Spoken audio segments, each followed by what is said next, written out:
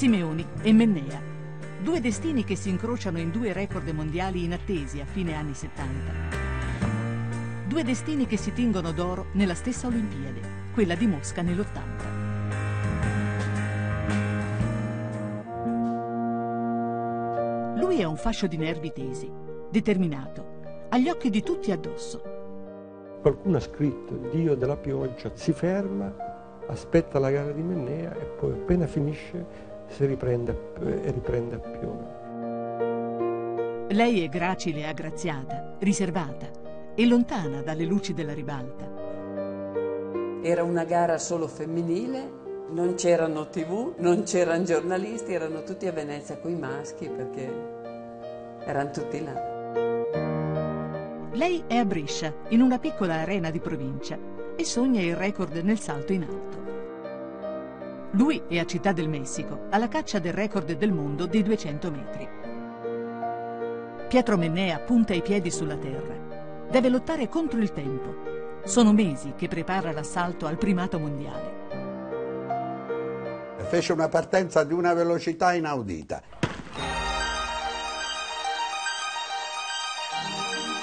Sara Simeoni, invece, deve lottare contro la forza di gravità.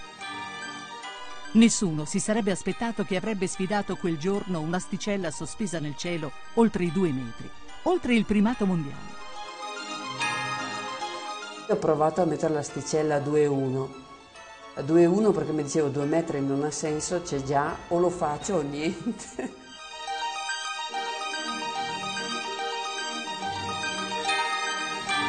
Mennea, a Città del Messico, intanto, corre con tutta la forza che può verso il traguardo fece il vuoto dagli 80 metri dalla partenza fino ai 160-170 metri.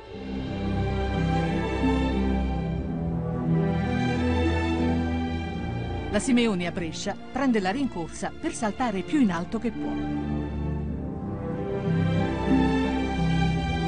Il 4 agosto del 1978 Sara Simeoni supera 2 metri 1, stabilendo a sorpresa il primato mondiale della specialità.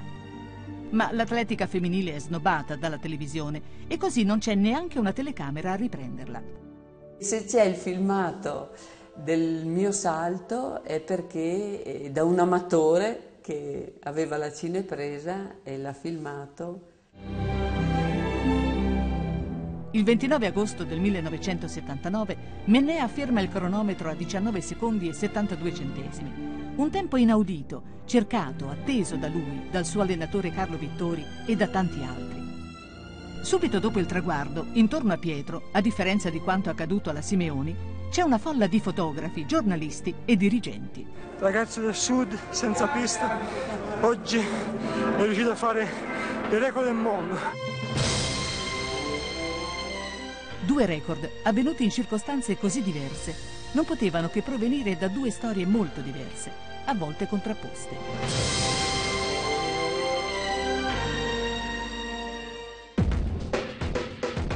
Pietro Mennea nasce a Barletta, figlio di una terra aspra e spigolosa, proprio come il suo carattere. Cresce in una famiglia modesta che lavora sodo e non ha tempo di praticare gli sport. Per lui invece l'atletica è tutto, da subito. Correre è un'occasione di riscatto sociale, un modo per far vedere quanto vale e sfidare tutti i pronostici, tutti i pregiudizi. Io vidi questo ragazzo e avevo l'allenatore vicino e gli dissi dove hai tirato fuori questo mingherlino perché era asciutto, magro. E questa frase è rimasta poi proverbiale perché ogni volta che voleva sfottermi diceva eh, il professore ci aveva capito niente. Vittori eh, così mi vide così magro, disse ma eh, non posso perdere tempo con questo ragazzo, dice questo è un ragazzo che prima deve mangiare, si deve robustire e poi eventualmente possiamo prenderlo in considerazione. Ma il fisico non è tutto. Il professor Vittori si accorgerà presto di avere fra le mani un atleta dalla pasta fuori dal comune.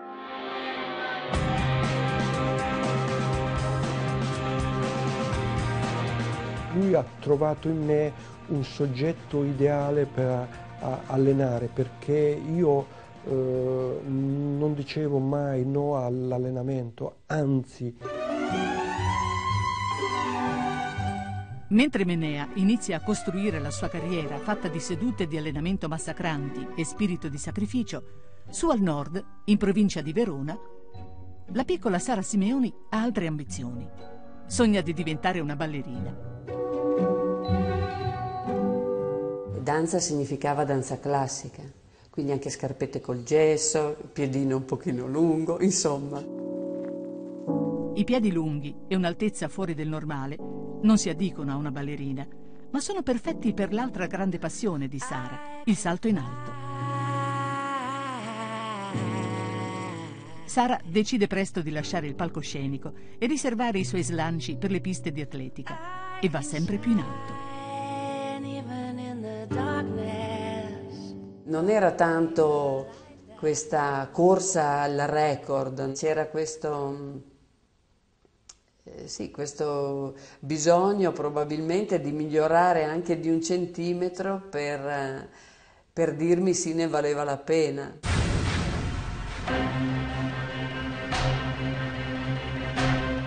Agli Olimpiadi di Mosca del 1980, Mennea e la Simeoni si presentano come i detentori del primato mondiale. Sono loro gli atleti da battere, tanto più che gli avversari americani sono rimasti a casa a causa del boicottaggio degli Stati Uniti. Il primo a scendere in gara è Mennea nelle batterie dei 100 metri. Mennea molto tirato.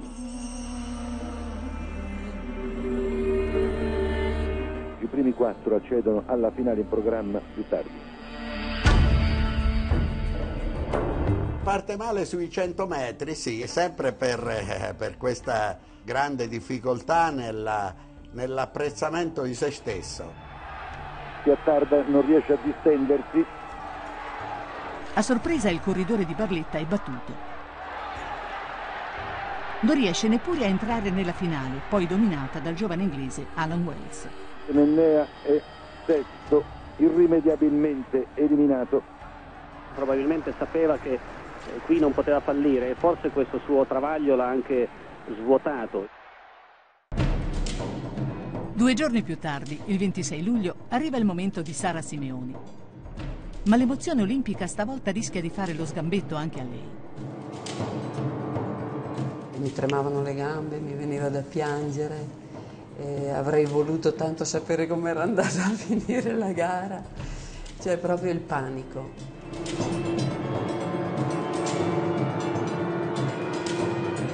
poi l'allora mio allenatore, oggi marito, eh, mi ha chiamato dalle tribune e forse quello mi ha scosso un attimo e sono riuscita a tornare in me. Dopo tre ore di salti sono rimaste tre atlete a contendersi la medaglia d'oro la Simeoni, la tedesca Kirst e la polacca Kilan. Anche errore per la Kilan. L'asticella è fissata a 1,97 m. Ah, primo errore, primo errore di Sara Simeoni. Errore della Kirst. La Kirst non ce la fa.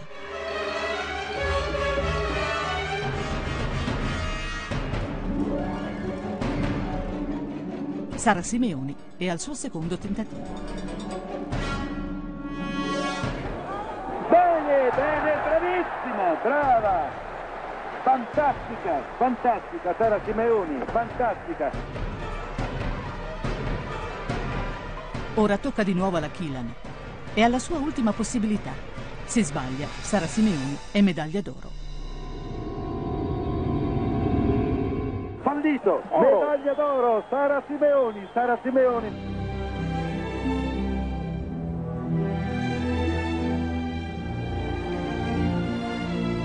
Continuato a piangere non so per quanto, ma delle lacrime calde, mi ricordo, eh, tante, tante lacrime e caldissime.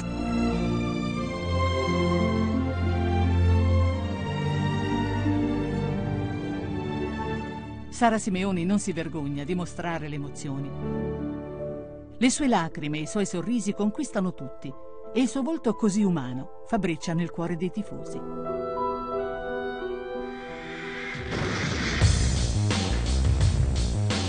Due giorni più tardi, i tratti di Mennea sono molto più tirati sui blocchi di partenza della sua gara, la finale dei 200 metri.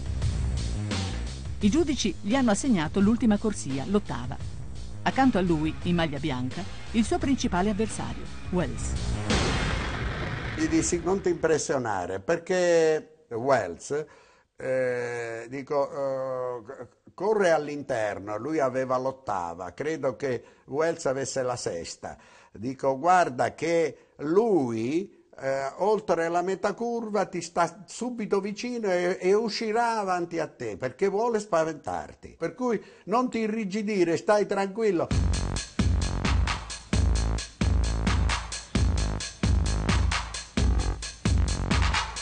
Ed eccoci alla prova più attesa di questa giornata, perlomeno per quanto ci riguarda. Mennea in ottava corsia.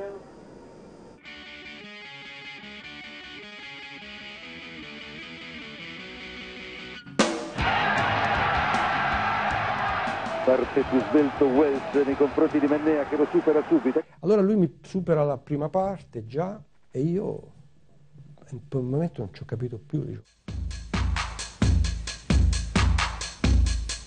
O vado piano io o va forte lui. Ecco, vediamo lotta a lotta, spalla a spalla tra Wells e Mennea. All'uscita della curva mi sono detto bisogna reagire, se no anche questa gara è andata.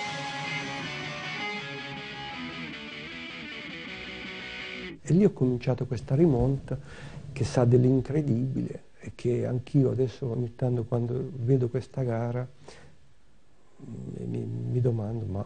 Menea cerca di recuperare, cerca di recuperare, recupera, recupera, recupera, recupera. Lui si allungò per, per colmare quel gap.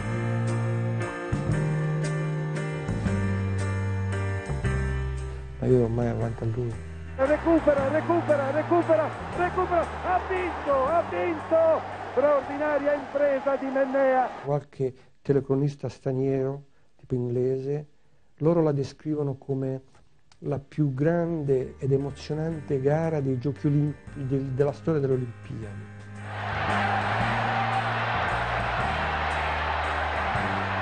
Recupera, recupera, recupera, recupera. Straordinaria impresa di Mennea. Con la sua straordinaria forza di volontà, Pietro Mennea riacciuffa un oro impossibile. Con la sua innata eleganza, Sara Simeoni lo aspetta là in alto, sulle vette dell'Olimpo. Ed è grazie a loro che a Mosca l'Italia riscopre il significato originario dell'atletica leggera. Grazie alla velocità di Pietro Mennea, grazie alla leggerezza di Sara Simeoni.